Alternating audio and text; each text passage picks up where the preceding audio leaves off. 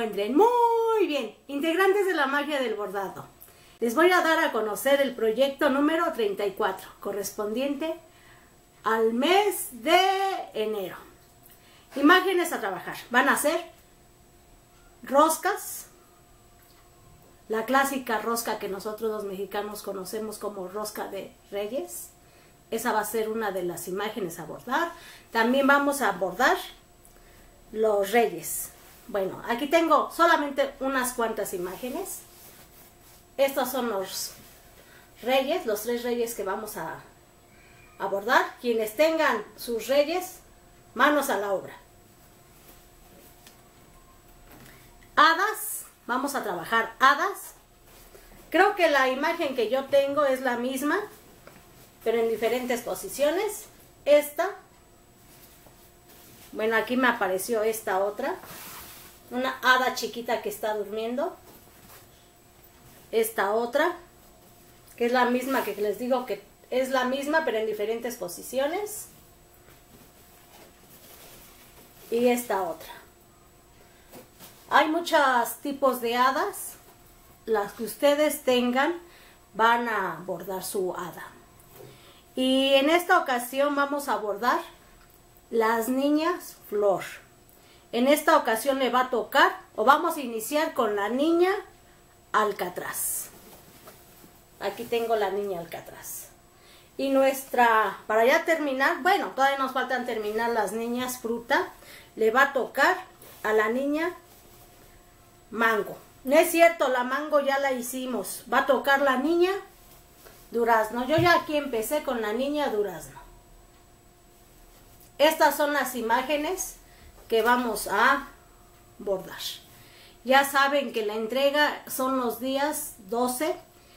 Eh, va a ser el 12 de enero hasta la medianoche. En el proyecto 33 yo me equivoqué y les dije que era un mes antes, pero ustedes ya saben que en cada proyecto que en el mes que vamos a trabajar es el día 12, de, en este caso 12 de enero, hasta la medianoche.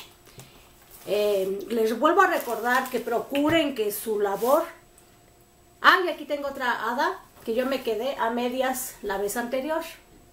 Voy a, no, no a tratar, voy a terminarla para meterla en este proyecto número 34. Me falta poco. Bueno, les decía que procuren que sus labores las planchen. Y si no pueden plancharlas, hagan lo que luego yo hago. Por falta de tiempo, las dejo aquí, no las, no las quito del bastidor y les tomo la foto para que se vean así, bien estiradas y ya no tengan la necesidad de plancharla. Déjenla así, así en su bastidor.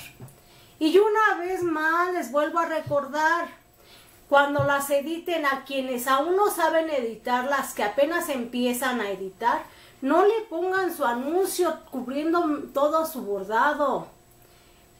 Eh, es un, si no saben editar, con un papelito se los he comentado. Un papel pequeño. Pongan sus datos y los del grupo. Un papelito chiquito. Aquí así, abarcando parte de su bordado. No todo su bordado. Una pequeña parte que abarque su bordado para evitar que alguna por ahí distraída baje su, su bordado y se adueñe de él, porque ha pasado. Yo les digo que abarque un poquito de su bordado para evitar esa, esa distracción de esa personita y se adueñe de su bordado. Pero tampoco que pongan su papelote papelote tapando su bordado. Yo lo que quiero es que luzca el bordado de ustedes, no su edición ni su papel con su letra, que a veces es una letra preciosa, pero aquí no se trata de lucir su letra hermosa, ni la edición, ni sus... Luego le ponen ustedes figuritas de la misma edición, una por aquí, otra por acá, y ya no luce tanto su bordado, sino las figuritas que le ponen. Lo que se trata de, de aquí es que ustedes luzcan su bonito bordado, no las figuritas que bajan de sus ediciones. Bueno, creo que por esa parte es todo. Que, que también no... Luego le quitan el bastidor y su labor de veras parece, se los he comentado ya en otra ocasión, que parece que hacen su, su bordado todo arrugado como chicharrón o se duermen con él, no sé. Ay, se, se ve tan feo ese, esta servilleta terminada toda arrugada. Tal pareciera que lo hacen a propósito para darle mal aspecto al grupo. Pero recuerden, no es al grupo, es a ustedes mismas. Porque esa labor tan fea, tan arrugada, habla mal de ustedes. No tanto del grupo, sino de quien le está presentando. Y creo que eso es todo por mi parte. Bienvenidas a las nuevas integrantes a este grupo y las invito a que lean el reglamento. Es bien importante que lean el reglamento y que lo lleven a cabo, sobre todo que ya lo leyeron, que lo lleven a cabo. Se les ha dicho una y otra vez que lo lean. También a las integrantes que ya tienen tiempo, vuelvan a leer ese reglamento, porque a veces no lo, no lo cumple y una como administradora, lee Tijas, Anthony. Luego cuando ven ciertas anomalías en sus, en sus bordados, no las suben al, a los álbumes correspondientes y ahí vienen los reclamos por parte de ustedes. Pero ellas como administradoras están cumpliendo con las reglas del, del reglamento. Bueno, eso es todo. Ya saben que tienen que hasta el 12 de enero para entregar su proyecto número 34.